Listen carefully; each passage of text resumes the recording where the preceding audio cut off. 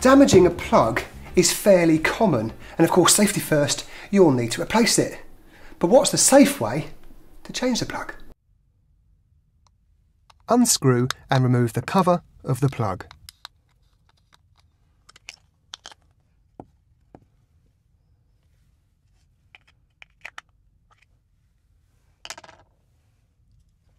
Unscrew the flex clamp.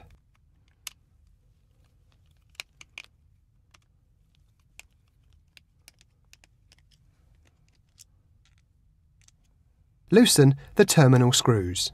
Pull the wires away from the pins and remove the wire.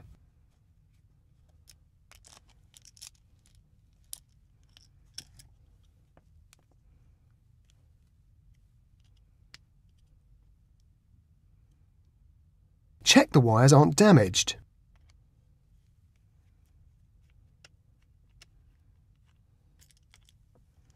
And remove the fuse.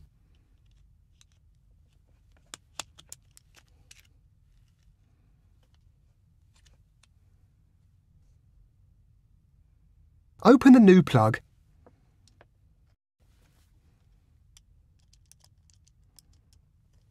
and remove the fuse to make it easier to connect the wires.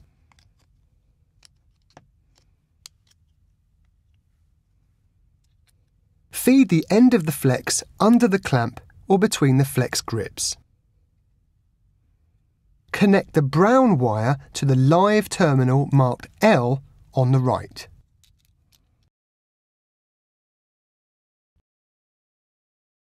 Connect the blue wire to the neutral terminal marked N on the left.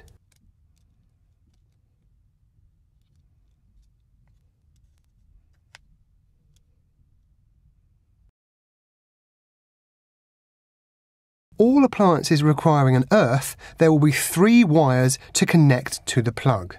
Connect the green and yellow wire to the earth terminal marked E at the top.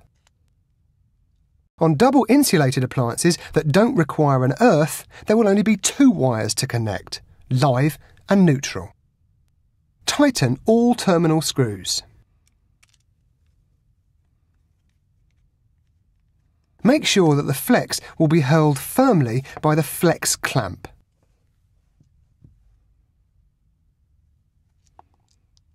Tighten the flex clamp.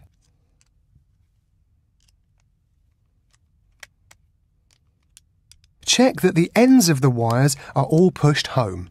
There shouldn't be any exposed wire. You can use the fuse from the old plug, but check you have the right fuse amperage for the appliance. Finally, screw on the cover and you're done.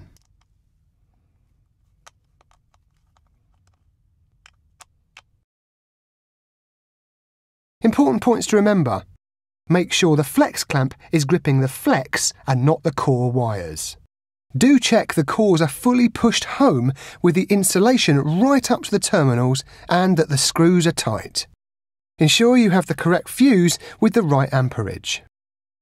A standard 3-pin plug should carry the British Standard kite mark.